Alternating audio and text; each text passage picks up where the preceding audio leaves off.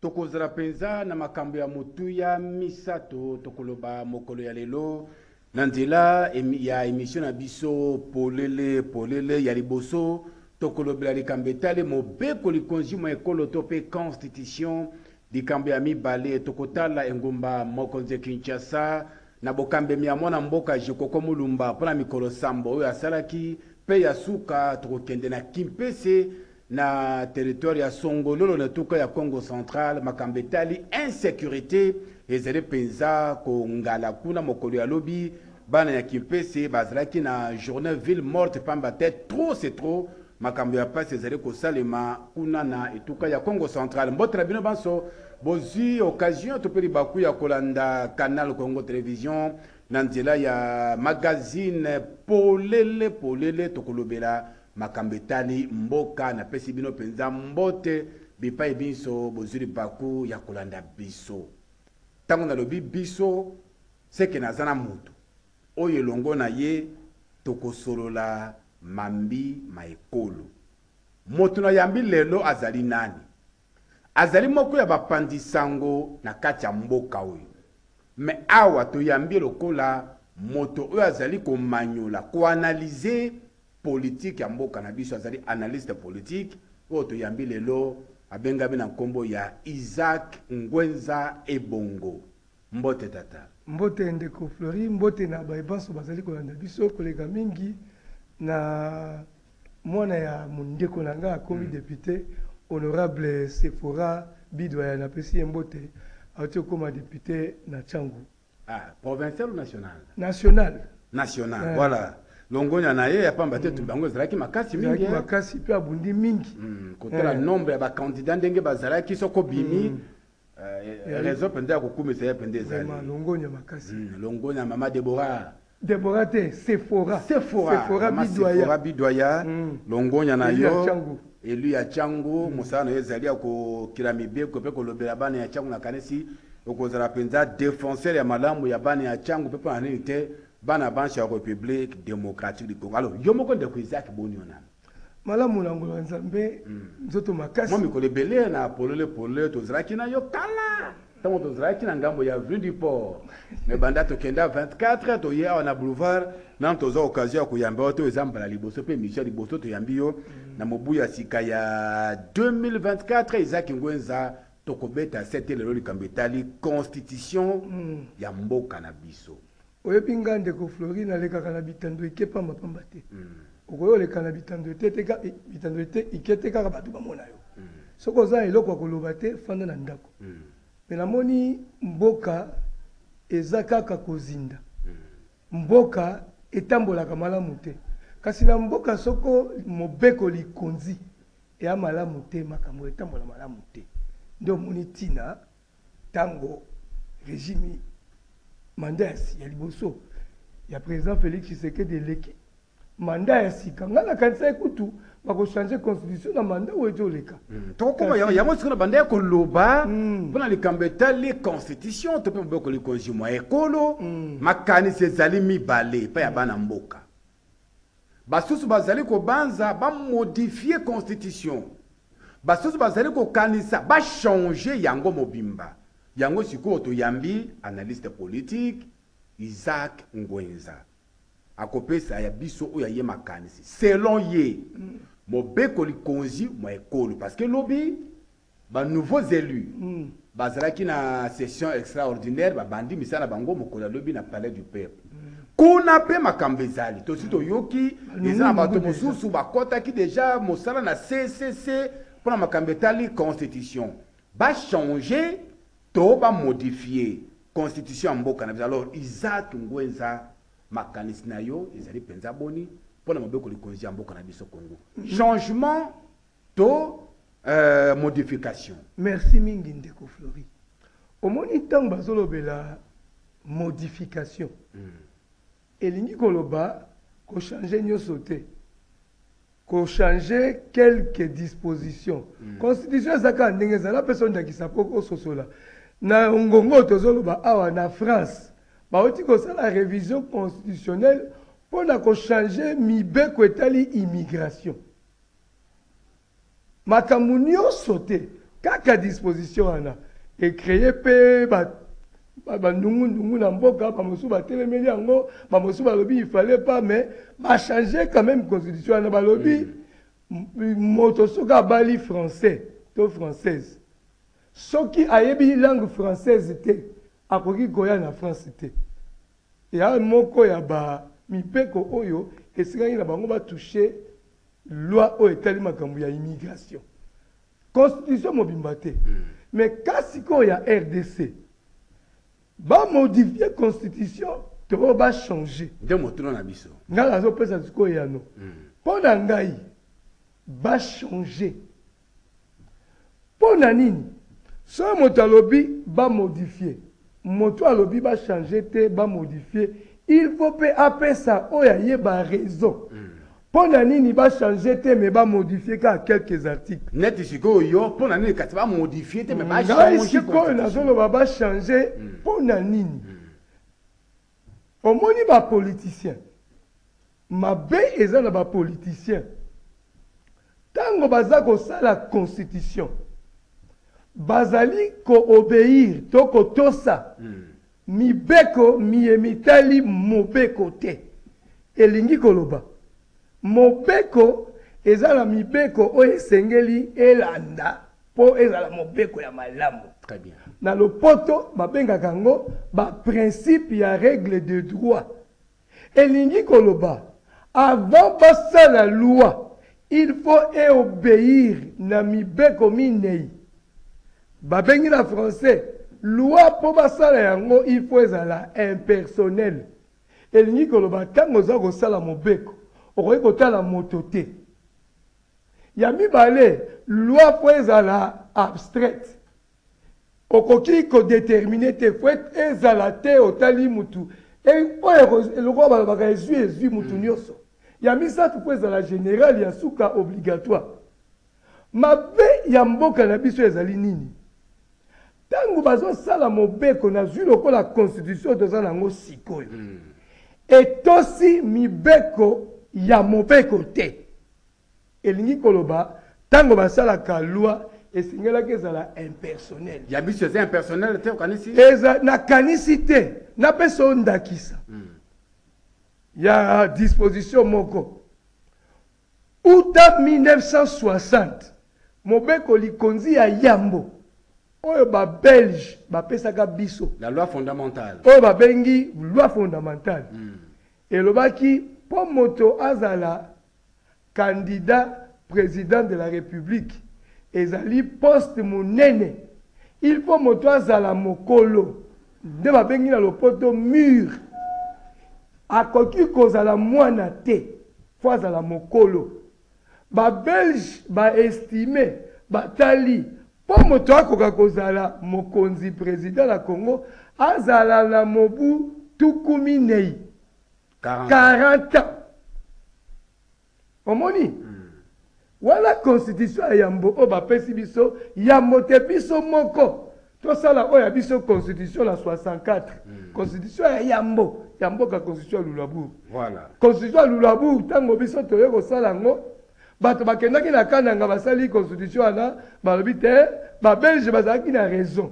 Constitution oyo po moto azala president faut to garder 40 ans mwana ako zala candidat te aza akamba mboka mobimba na biso oyo bayindo po mokolo tokomi na 65 première republique eleki Mobutu azui pouvoir na coup d'etat ekomi na 67 Mobutu asali constitution na ye alobi pe po tobomba moto so aza president po azala na 40 ans kasi na 65 mobutu azalaki na 35 ans et ye azalaki soda azwaka bokonzi te mpo avanda libela azwaka bokonzi mpo na mobulu ezalaka kati na president na premier ministre kasavubu na lumumba tula nde azwaka bokonzi alobi armee etia kimia mpo na mibu mitano na 1970 nde azongisa pouvoir na bacivile Na 67 po akamba mboka esengelaki azala na constitution ye aboyi constitution ya 64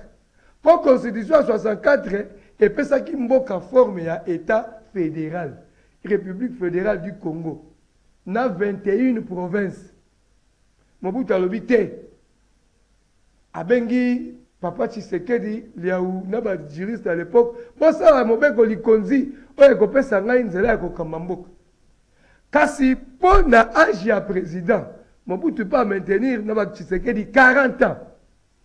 Soki moto akozala president na mboka oyo il faut azala na 40 ans. Donc, loi fondamentale, constitution ya Luluabourg, ya Mobutu, 40 ans. 40 ans, 40 ans. Tokomi sikoyo Na 2003, tango ba signer accord ya Sun City, accord global et inclusif, esengelaki basala constitution ya transition.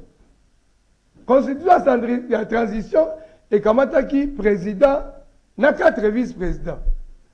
Tango transition esili, esengelaki sikoyo basala constitution oyo ekokamba mboka. Constitution oyo basali na tango oyo bazo sala constitution wana president Joseph Kabila aza na 35 ans nawutaki koloba no awa te mobeko tango basalaka yango il faut etosa mibeko ya mobeko ebanda kozala impersonnel impersonnel basalaka mobeko te kotala Florie soki batosaki Principe ya regle de droit balingaki bazongisa kaka 40 ans wana Kabila alingaki kopesa candidature te mobeko epekisi yo nde omoni na droit balobaka nul n'est au dessus de la loi kasi na ngonga wana Kabila azalaki au dessus de la loi moto akoki kozala likolo ya miboko mobeko te. Mobeko olobi mpo ozala president faut ozala na 40 ans.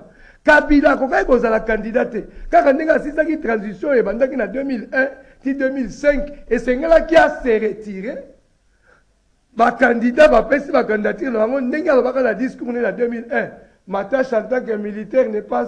celle de s'accrocher au pouvoir mais je vais organiser les elections libres democratiques et transparentes kabila esengelaki asuka wana pamba te mobeko likonzi ya mboka epekisi na moto azali na se ya 40 ans azala candidat basalaki nini bakamati mobeko bakitisi age na 30 ans. Donc ezalaki une façon ya kolokota ye, koambale ye akota na kati ya masolo. Akota na kati. Ye akoki kozala candidat te. Basali mobeko sikoyo na taille na ye. Batie age ya moke mpo moto azala president 30 ans. Nde constitution oyo tomonaki mpe Seth Kikuni moins ya 40 ans apesaki candidature na ye. tango basalaka mobeko. Nde constitution pe oyo mokonzi ya mboka a preter serment likolo na yango. Oyo mokonzi ya mboka a preter serment alobi je dois observer la constitution ya problème constitution te oyo eza kaka point ya muke na bandi nanu kotalisa yo constitution oyo ezali mabe mabe mabe mabe po basali yango Mpo na ko regler mpe ba comptes na ba opposants. Na ndenge nini Zacle Ngwenza? Nako limbola yo sikoyo. Nalongwa na makambo etali age. Tokei na makambo ya ko regler ba comptes na ba opposants. Ok. Age, ba constitution na biso elobaki il faut ozala na 40 ans. Bakiti na 30 ans. E obeir sous na loi ya mibeko te, ekomi personnel ou personalise. Ekomi lokola kazaka batongeli moto moko asundola alata. Batongeli moto moko. Ya mibale. Yambo ete nakota na oyo ya mibale, nabimisa mua parenthèse moke mpo na koyebisa yo lisusu motif mosusu oyo que constitution oyo bakoki ko modifier yango te, il faut ba changer ya sika ekotisa biso na republique ya sika. Motif yango eza nini? Bato oyo basali constitution oyo bazalaki ba belligerants. Baza na mandat ya congolais moko te. Baza ba elus ya peuple te. Congolais moko te a elire bango po basala constitution. Assemblee oyo eza na droit ya kosala constitution ezali assemblee oyo eye na sima. Lokola oyo euti koleka awa to oyo. Po baza ba elus ya peuple biso nde to elire bango. Mais as constitue en 2006 n'avait aucun mandat ya peuple. Peuple atindi bango te. Ezalaki ba delegues ya ba groupes armes, RCD Goma, mlc ya Jean Pierre Bemba, Afdl oyo euyaki na Kabila tout là, bake na Sun City, babengi opposition politique, ba societes civiles nde basangani ba signer liboso accord ya. Accord global et inclusif na Afrique du Sud basali par constitution ya transition après bango wana kaka bazo sala constitution oyo. Mais tango ndeko Isaac ozo loba ba changer constitution omoni te que ekosala lisusu que soki ba changer constitution neti lelo oyo ndeko Felix ya Tshisekedi aya ko poster lisusu comme president de la Republique te ekobenda lisusu bokonzi ewumela. Mabe ya mabe ya mboko nde yango. Mabe na ndenge nini? Ntango basalaka mobeko, batalaka moto te, batalaka moto te, batalaka institution, president de la republique. Mpo na nini nayebisi yo ke mabe ya mboka oyo baya kotala moto? Omoni Na 1967, ntango Mobutu asali Constitution, natuni sikoyo bato basala Constitution oyo, mpo na nini ba changeaki Constitution ya Mobutu? Est-ce que makambo nyonso ezalaki na Constitution ya Mobutu ezalaki mabe? Napesa yo ndakisa, Mobutu a estimaki que mboka na biso na monene na yango, cinq ans mpo na mandat ya President eza moke, il faut au moins sept ans mpo mboka eza monene, azwa temps ya kosala mosala malamu. Eza mabe? Na tuni yo ndeko Fleury eza mabe te hein. Nga na tunaka nde nde. Voilà merci hmm. sept ans Mobutu a estime mpo ezala sept ans epe alobi sept ans renouvelable alobi te sept ans renouvelable une seule fois mpo la constitution Mobutu asalaka mandat ya president eza sept ans Tangu ye azo sala mosala malamu ako pesa candidature na ye soki azo sala mosala mabe peuple elongoli ye asa a limite mandat na ye te a limite mandat ya depute te a limite mandat ya mutu moko te sikoyo bo limite mandat ya president bo limite mandat ya gouverneur bo limite mandat ya depute te mandat ya senateur te est ce que mobeko wana ezali juste? Balobaka na lopoto Saint Augustin aloba a une loi injuste nul n'est tenu d'obeir soki mobeko eza mabe moto ya kotosa yango aza te il faut ko resister napesa yo ndakisa mosusu soki lelo parlement na biso elobi mibali na mibali babalana ngai nakotelemela yango Yo pe okotelemela yango. Mupepe yango pe ezoya eh. Eeh Hum ezoya. Soki balobi mobali na mobali babalana, basi na basi babalana, mobeko wana ezali mabe. Na nguya moko ya makasi. Tosengeli kotelemela yango, koboya yango. Très bien. Toke na makambo ya règlement des comptes ya ba opposants. Ya ba opposants. Kitoko ndeko Fleury. Nazo kamatela yo constitution oyo bango bakutaki. Epesaki mboka 11 provinces. D'abord nazonga nanu na 1960 mbango tango ba belge ba pesi biso mboka ba bi mboka na bino ba province ekozala six plus Kinshasa Leopoldville ezwaki Kinshasa bandundu na ba kongo Province moko sept provinces eh eh six provinces plutot eh Leopoldville ezwaki na ba Bandundu na Kongo central na Bandundu na Kongo Kongo central na kati ya Leopoldville très bien six provinces kasi mobeko likonzi wana kaka oyo vola loi fondamentale elobaki ke bino moko ba politiciens bokoki ko créer ba provinces ya sika Soki bolingi, ndenge bokomona. Kasi mpo na biso, ba provinces e ya motoba. Soki bo ko creer ba provinces, malamu, problème eza te. Sikoyo tala, ba politiciens ya 1960, ba kabwanaki na ba ngambo mibale. Ngambo ya liboso, ba oyo bazalaki kolinga mboka ezala Etat unitaire. Cote ya ba Lumumba na ba Bolikango bango bazalaki kolinga mboka ezala Etat unitaire, forme ya Etat, Etat unitaire. Ngambo ya ba Kasa-Vubu, ba Tshombe, ba Ngalula-Panda-Njila, ba Ileo bazali kobenga bango ba Federalistes. Balingi Congo ezala Etat federal. Kasi tala mabe oyo eza na ba politiciens.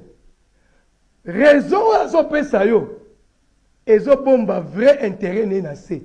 Balobi mboka eza munene pona ko diriger yango il faut ezala etat federal chaque province ezala autonome et tout la. Kasi na makanisi na bango balingaki moto na moto azala president na coin na ye. Po na constitution ya Luluabourg bazalaki kobenga ba gouverneurs ya province ba presidents.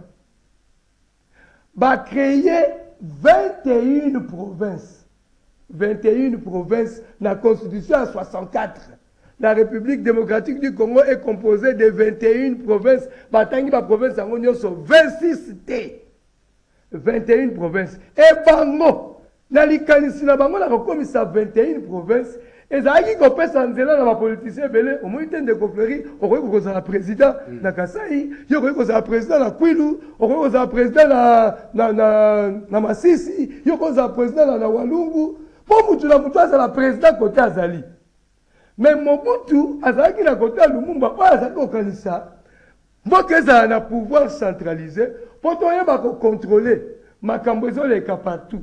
Parlement ezui decision awa ba panzi yango ba executer yango partout toyeba ko controler mboka ezo sala bomoko ya mboka. Sikoyo tala mabe nakota mbala moko na esika Oyo mobeko aye ko regler ba compte na batu te. Na ndenge nini? Toza na 11 pro mobutu tango atiki biso na 11 province eh mobutu akuti 6 province abakisaki misatu to mibale plus kinshasa esali 8 province ekomi 9 sima ye kokabola kivu ekomi 11 ake atiki mboka na 11 province mobutu tango azolongola ba province na 8 ekoma 11 et tozalaki na système monopartite Parti parti unique ako rendre compte na mutu te il ete nde ba bengi dictateur ye na pouvoir nioso mais kolongola ba province na 11 po ekoma 26 tala reglement de compte politique ezalaki nini ezalaki nini batu ya kabila batali bakuti mboka na bopoza ya makasi.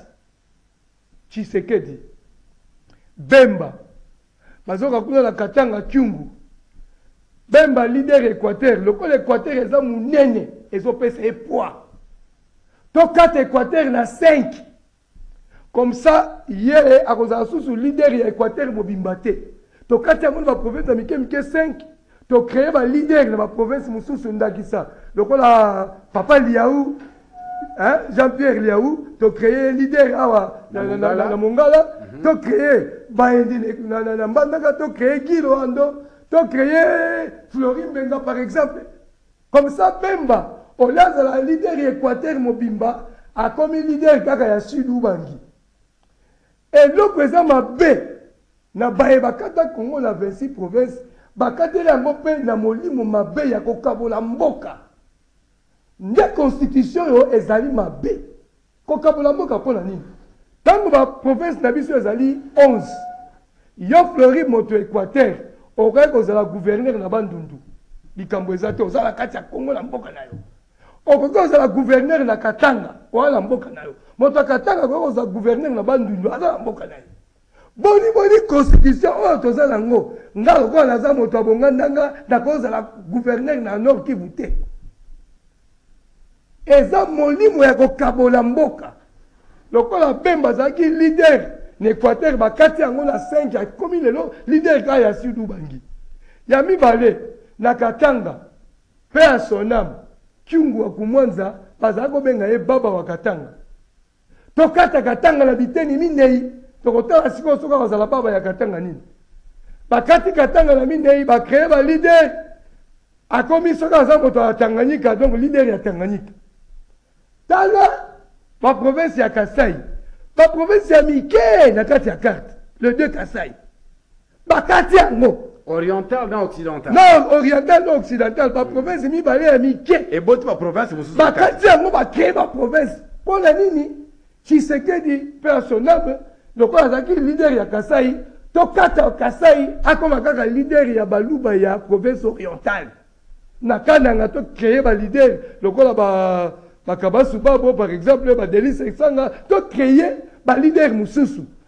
Na Lodja kuna to cree par exemple ba Lambert Mende, ba Cheo Kitund, ba cree ba leader ba diminuer puissance politique ya Tshisekedi na Kasai. Est ce que tango basalaka mibeko ya mboka eza pona ko rendre compte na ba opposants to mibeko ya mboka po ezala impersonnel? Très bien. Nakanisi motuna wana ba telespectateurs moto na moto esika azali kolanda biso Akomeka kopesa eyano na motuna ya mwana mboka Isaac Ngwenza oyo toyambi lelo, analyste politique, ndenge azali koloba likambo etali kobongola, changement, ya mobeko likonzi mokolo to mpe constitution. Television eza likambo ya ngonga wana te, na liboso tolekisi yango. Ete na mibale tolobaki makambo etali ville ya Kisasa na ba reseaux sociaux ezali kolobama mikolo sambo Oyo mwana mboka Gerard Mulumba kongolo wa kongolo Gecoco asimbaki yenda ya ville ya Kisasa, bana mboka ebele bazalaki ya kosepela. Ndenge tozali komona wana, bilili ezali kolakisa biso rond point ya Huilerie. Tala Huilerie! Tala Huilerie na mikolo sambo Isaac Ngwenza. Mikolo sambo ya Gecoco Mulumba tomoni Huilerie yango wana na bilili, ndenge yango ekomi, okoki koloba nini? Bon yambo te na tia commentaire awa pesa nga minute kaka moko na cloture Je vous en prie rapidement donc po rapidement hein TV eza ngonga oyo. nalingi na eh ndenge olobi TV eza ngonga nalingi naloba likambo etali changement to modification ya comstitution awa nazali nga moko Nalakisi yo kaka quelques points. Balobaka mingi modification soki par exemple eza kaka trois ou quatre points okoki ko toucher mais soki ekomi 15, 20, 30 bobandeli. Donc eoyo eza sujet makasi lokola ekomi dejà kolobama. Nakosepela mokolo mosusu ndeko Flory obengi moto oyo azoloba que Ba changer te ba modifier. Avandi wana. Ngai awa ba changer. Ye apesi ba raison na ye. Debat contradictoire. Ye apesi ba raison ne nga apesi ba raison na nga. Peuple a tranche. Ata ali docteur en droit. Docteur en constitution aye. Oyo alobi que ba modifier te. Nako talisa awa na bozindo. Bana mboka bako sosola que constitution eza mabe bako bongola yango. Merci beaucoup. Euh, Rompo Sikoyo Rompo Wileri. Omoni nga tokosenga bilili wana. Oyo ezali moko ya kotalisa omoni ndeko Jekoko. Mm. Etalisi moto wana bolingo ya mboka. Tellement que tozalaki na constitution ya mabe bakokaki kolongola gouverneur te. Po po balongola ye eza pasi il faut ba deputes provinciaux soki pe gouverneur azo pesa ba deputes provinciaux mbongo heure nionso bako longola ye te kasi soki mokonzi ya mboka nde a nomaki ye amoni mbula mitano tala ndenge huilerie oyo ekomi na sept jours ndeko flory banda cinq ans ngobila na ville ya kinshasa rond point kaka huilerie te aoka centre ville tala ndenge centre ville eza salete. Mais lokola constitution ya mabe moyen balongola ye eza te. Tala ndeko Gecoco na peu de temps alakisi que aa moto aa na bolingo ya mboka. Yo omoni oyo muke? Nga na mona ye na Auschwe po bilili ye naa nango na mona ye na Auschwe tango bazo ko detruire avant je crois avant francophonie hein oui avant francophonie ou avant pape avant arrive ya pape je crois.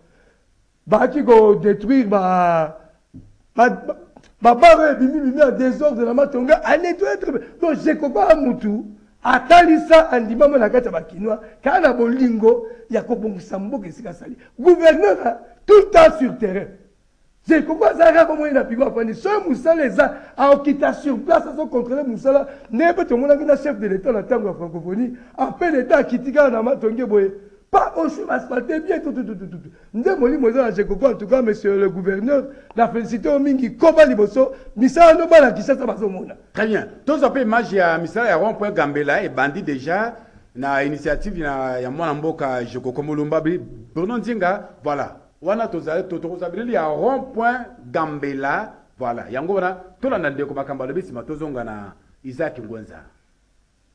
Tolelaki par rapport ya esika oyo tolobaki tokosala effort mpona ebonga. Alors, pendant son interim, le vice-gouverneur de Koko Mulumba, oyo boyebi bato nyonso babengaki pai na ye e alobaki akoreagir. Yango wana sur instruction na ye bomoni ke lelo ozolanse misala ya aménagement ya rond-point Gambela oyo. Je pense que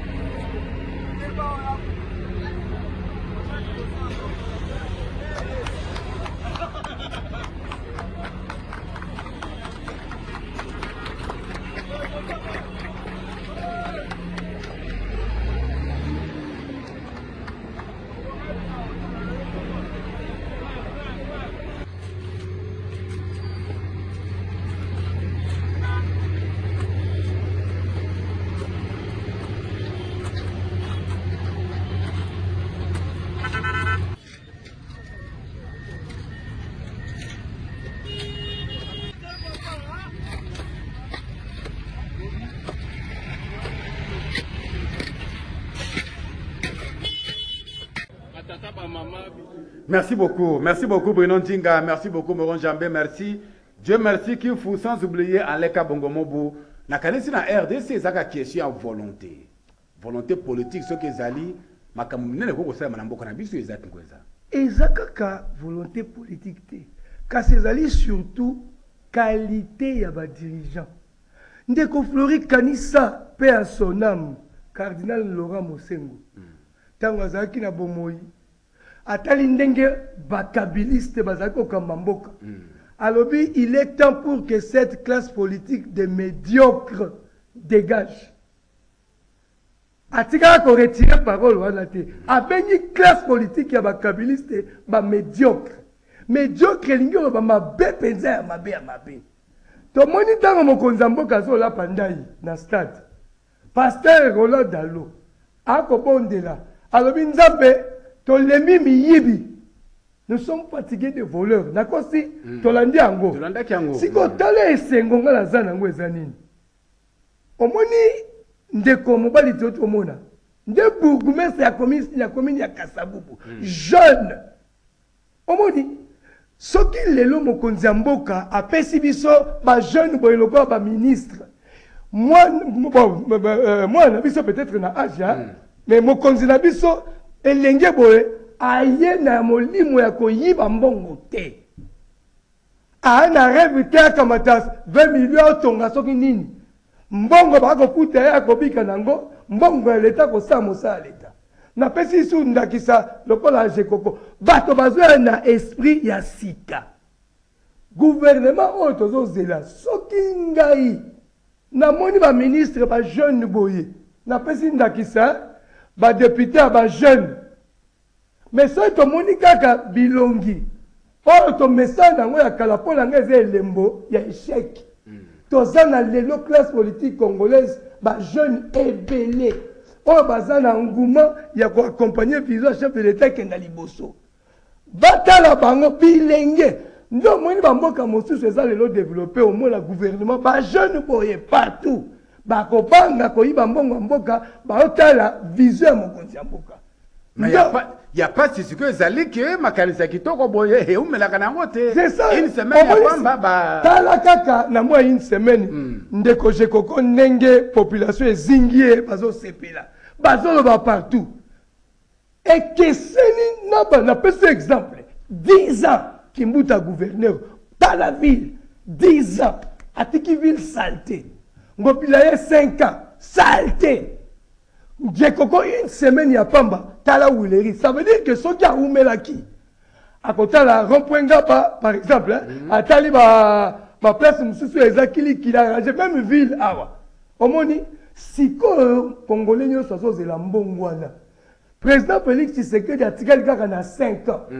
Il Donc faut aza na droit ya erreur te na erreur cinq eza ans. te surtout na choix ya bato balongola makambo ya ba calcul politique oh ba regroupement politique d'ailleurs moto dejà oyo aza depute mpo na nini balongola yo sous depute batia yo ministre mpo na nini yo opesi candidature olobi ngai nalingi nasalela mboka comme depute alors zala na parlement zala depute Oyo aloba aboyaki nde kozala depute azozela senateur tango bako organiser ba ba election ya senat oke na senat mais bakamata mutu azali depute bazuye lisusu batie ye ministre elembo ya mabe ndeko flori ke mboka ekotambola te bazwa ba ministre ya sika bilenge boye ebele batangi baza na mboka bakokamba vision ya chef de l'etat ekozala malamu so bapesi ye 5 million asala nango mosala na ndimi te bana bakodetourne mbongo Ba ko vivre na ba 35 ou 40 mille dollars na ye par mois comme ministre qui akamata ba 15 ba 15 millions ba 50 millions a detourner ndenge regime ya ya kabila ba detournement ti lelo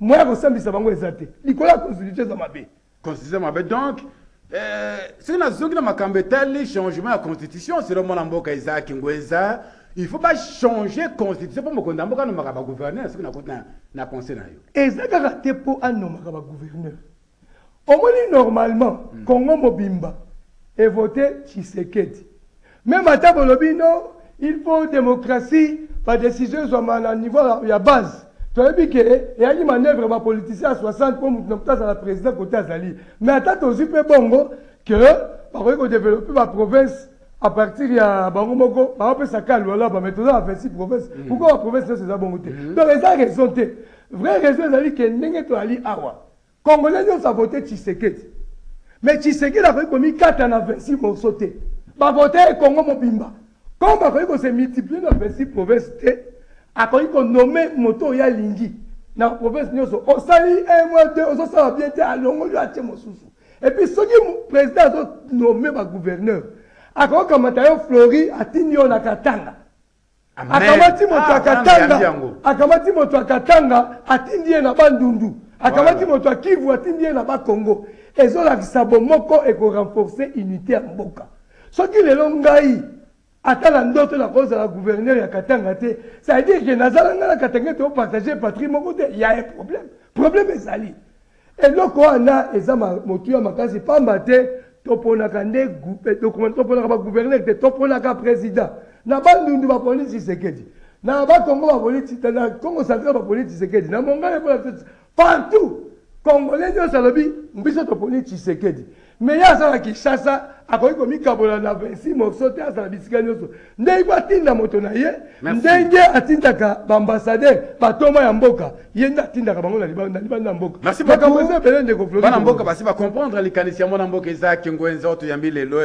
isaac ngwenza ebongo analyste politique oyo azali kopesa makanisi na ye mpo na maye matali mboka. Eteni ya suka ya emission na biso tokoloba makambo etali kozanga kobatelama malamu na mboka na biso. Toke na etuka ya Kongo central, na secteur, na territoire ya Songololo, mingi mpenza na engumba Kimpese. Lobi mosala esalemaki te. Bruno Nzinga, tokoki kozwa image wana, bilili wana, nakanisi na lokole ya Kongo, Tomekaki kolobela yango, bilili wana ya Kimpese, ndenge makambo elekaki mokolo ya lobi, ba dongolo miso bakomi na Kongo central, bakomi kosala batu makambo ya mabe.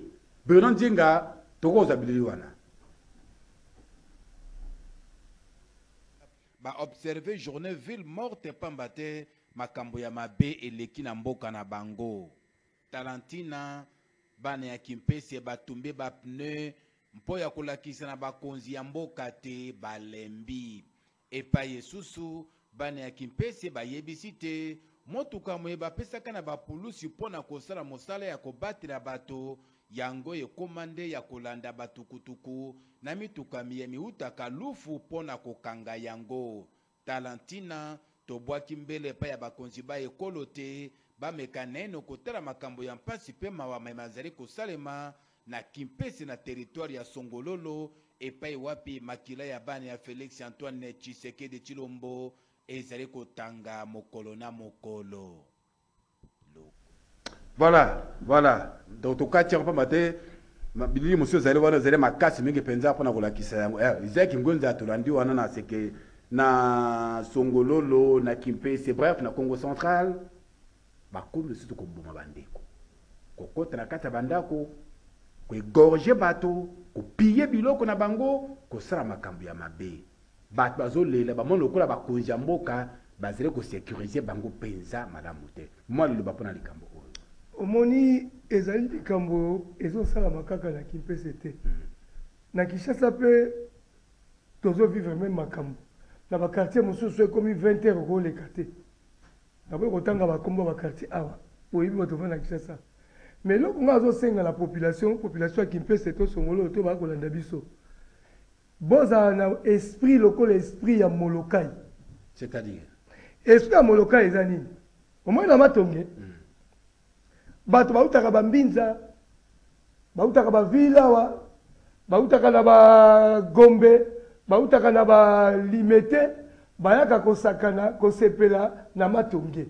Omona bango na Oshwee avenue du stade tula matonge wana soki bato ya Kinshasa tout bayaka ambiance na matonge po eza na esprit mwana nioso ya molokai a interioriser akotisa na mutu na ye elingi oloba soki nayebi que na numero quatre garçon moko azalaka wana aza kuluna nakokende na police nayebisi police baye bakangi ye bake na ye. Soki toyebisi police te tozo veiller mukolo mwana wana akosala mbeba toko zala sur que ake makala to accompagne ake makala pamba te soki insecurite ekoti bato bako kima meme bakoya lisusu te omoni eloko nalingi naloba nalingi naloba boye tango insecurite eyali il faut bato batelema kaka nde batelemi batomboki batombi ba pneus tout là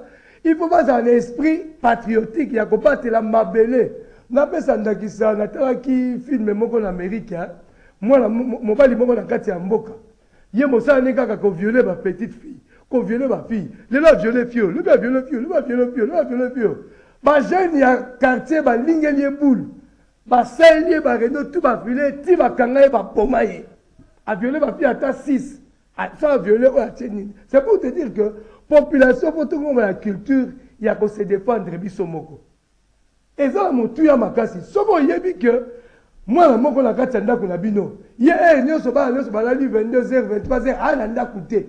Mais yo parent ndenge nini mwana na yo 23 heures azalaka na ndaku te azonga une heure to deux heures to na tongo? Bana wana nde baza dangereux. Il faut biso toyeba ko denoncer bango. O denoncer bango et puis tozala na esprit ya ko ko assurer securite na biso.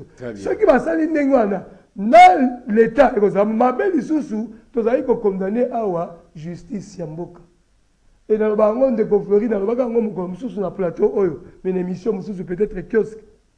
Tant que equite ekozala te na repartition ya ba salaires na kokabola salaires entre les trois pouvoirs traditionnels ya Etat, elingi oloba executif, judiciaire na legislatif, eza pasi mpo insecurite esila. Mpo na nini ndeko Flory? Admettons que bakangi moyi, bakangi ba bandits oyo. Batie bango na maboko ya justice. Lobi bomoni abimi lisusu oh famille eke epesi 500 dollars epa magistrat batiki ye lelo bazopesa depute plus de 21000 dollars soki bapesi juge 15000 dollars makambo ekosila. Très bien, très bien. Merci beaucoup wana ezalaki makanisi ya mwana mboka Isaac Ngwenza oyo toyambi mokolo ya lelo toyambaki mpo tokomi vraiment na suka masolo na biso ya mokolo na lelo mais avant tosukisa Tokomeka koloba mpo na likambo moko. Likambo oyo tolingi koloba ezali makambo etali election. Boyebi yango, biso banso ba Congolais, ndenge nini maponami esalemaki na mboka na biso. Tango maponami masalami, Toyebi na bisika mosusu kino lelo basakoli bilembo ya maponami te likolo ya mobulu oyo esalemaki na kati, ndakisa na territoire ya Budjala na etuka ya Sud-Ubangi. Ceni atindaki commission moko d'enquete ekende kuna mpo na kosala mosala ya koluka koyeba makambo nini elekaki na Budjala. Mais selon ba informations biso tozwi, Ba ndeko wana mission de service na bango ezalaki ya mikolo 10, basala kaka mokolo moko.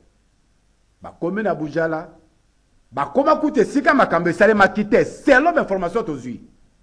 Babaluka na bango, bazonga na bango, baza awa na kati ya capitale ya Kisasa. Ya liboso yango wana. Likambo ya mibale, ezali ke makambo esalema na territoire ya Bujala elongobani te. Mpe kanyaka ezali kotambola makasi. Bandeko ya commission d'enquete wana ntango bakomaki kuna, bakei kofanda bisika ya moto oyo bana mboka bazali kofunda ye ke ye azalaki à la base ya makambo ya mabe oyo esalemaki na Bujala. Mais ba salle ya ceni bato ya bazalaki loge na ba ndaku ya moto wana kuna na bujala bana ya bujala bayebi makambo nazo loba alors kotala makambo nyoso ndenge ezali koleka lelo na na territoire ya bujala ceni okoki kosunga bana mboka soit Maponami ya ya ya Bujala bakwesi yango ba permettre na bana mboka ba bandre election mosusu oyo ako gagne a gagne oyo ako kweya akweyi po ndenge makambo ezo leka kuna na ndimi te ke commission wana bako pesa rapport ya malamu pamba te bato ba kutaki kuna na Bujala ezali bato ya mu acteur politique songolo oyo ayambaki bango ba sololi na bato na ye bakoya kopesa rapport nini? Mpo na kosunga ba ndeko na biso ya Bujara, nakanisi ekozala mpenza malamu au besoin soit ba annuler kaka ba elections yango ndenge esalema na Yakoma, ko permettre ata trois, quatre, cinq, cinq mois après maponami mosusu esalama comme ça tozwa ba vrais elus oyo bakoya kolobela bana mboka na niveau ya Assemblee nationale. Donc makambo oyo eza makambo mpenza il faut kozwa yango au serieux. Ndeko Isaac, ra, rapidement mpo tosukisa emission na biso. Ee, nalingi naloba boye, Ndenge yo olobi ceni soit a annule abandela po na ngai eko zala mua eko zala mua pasi kasi eloko ngai nazo kamua po na nini ceni akokaki te ko sala kaka ndenge asalaki na bisika mosu bisika bisusu elingi ko loba ba yebi moto oyo ozo tanga wana ngai pe na yebi mais to boyi ko tanga po nanu ekomi na niveau ya justice te ceni aza na ba resultats ya ba enquete Mpo na nini depute yango to ba deputes yango bakokaki kaka kotia bango na kati ya liste ya ba 82 wana te oyo ba publiaki? Eloko ya malamu ceni akokaki kosala, pamba te ekobebisa meme bato oyo bakotaki na course na ndenge ya malamu, oyo ba tricher te, parce que eza bato nyoso te. La plupart ya ba deputes oyo bakoti na ba potopoto wana, omona bango mingi ministres na gouvernement, mingi. Aza ministre na gouvernement ba ba ba ba ba intimidation ba vandalisme tout tout tout là mais oyo azalaki ne jeune elengi apesi candidature naye abattre campagne naye azala ba resultat babandela su mbala mibale aza su na makoki te ya kosala ba campagne ekozala mua pasi kasi seni aza na verite Bazala nde sembo. Boyokaki kombo ya un tel, kombo ya un tel, bo sanctionner bango. Bobimisi oyo basengeli kobima. Oyo nasuki wana. Matondo mingi Isaac Ngwenza analyste politique, matondo mingi na bino banso mpe bozwaki libaku ya kolanda biso mokolo ya lelo. Ezalaki mpenza masolo ya polele polele. Olivier Longwango, Bruno Nzinga, Moron Jambe, Dieu Merci Kifu, Alain Kabongo Mobu, matondi mpe na bino banso, matondi mpe na bandeko baye balongaki na maponami. Lokoko nyongo na inongo, Aime Pascal Mongolo Konda longonya na yo, molobeli ya bana ya ville ya Inongo na Assemblee nationale. Lokoko Nyongo Arc en ciel aboya Nyongo. Natonma matondi penza na pamba te mosala penza osalaki eboti mbuma ya malonga, longonya na yo pe mosala malamu. Tokobosana boni Eddy Etibako Ndito na Bolobo. Eeh ye pe abimi kuna molobeli ya bana bolobo wana penza na cadre ya bio na bio topesi ye penza longonya mingi emission ekomi na suka botikala malamu kimia boboto pe bondeko o mabota